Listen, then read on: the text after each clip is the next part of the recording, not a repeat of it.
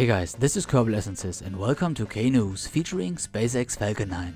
The launch was scheduled for Saturday but had to be shifted due to issues with a helium tank. It is not yet clear by how long, but I'll keep you updated in the comments and on Twitter. Anyhow, Falcon 9 will deliver another communication satellite into geostationary orbit. This time it is the Turkmen Alem 52E or MONACO-SAT. It is the first satellite from Turkmenistan, which lies in the Middle East between Europe and India. The satellite is derived from the Spacebus 4000 series and was built by the French company Thales Alenia, the guys behind ESA's IXV. A very abstract description of such a satellite is an amplifying mirror. It receives a signal from a ground station, amplifies and reflects it back.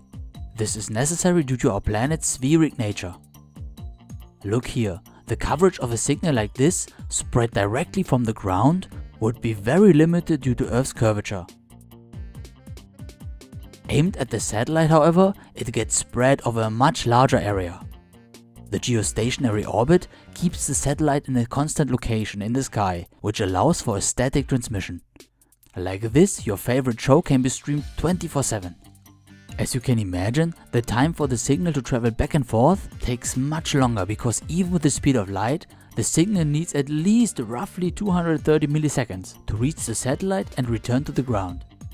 This delay is simply too much for many applications, but SpaceX has ambitious plans to cover the whole planet with hundreds of satellites which are much closer.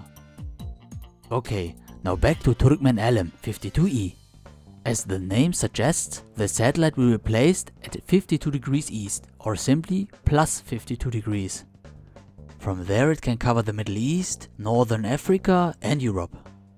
Due to the high orbit the booster won't attempt landing, but this might change in your future because SpaceX is working on an upgrade which allows the Falcon to carry more payload. Now that's it for this episode and I hope to see you in the next one if you like. Auf Wiedersehen and thank you for watching.